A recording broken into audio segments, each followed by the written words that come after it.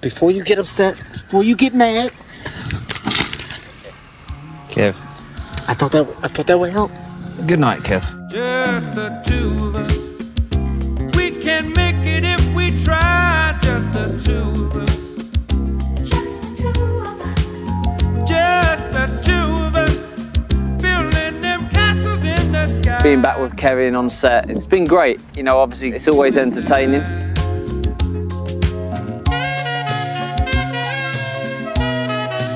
I think it was kind of hard to top what we did the first time, but I'm honestly confident in feeling that we've we've accomplished that goal.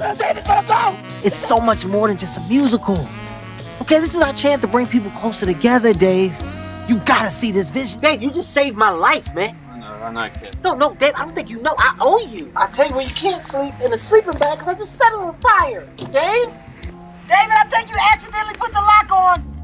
It's amazing to be around because obviously this is what he does. He's giving me some pointers and uh, helping me out on a few scenes, and uh, yeah, I think it's gone really well. Darling, when the morning comes. I feel like me and David have gotten really close, you know, and I feel like he's grown to be my best friend. Just the two of us. We can make I Beckham the musical is going to be a huge success.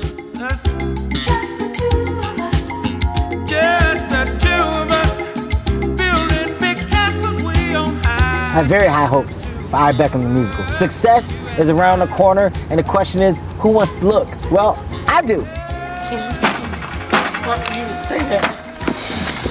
It's a heck of a day, ain't it?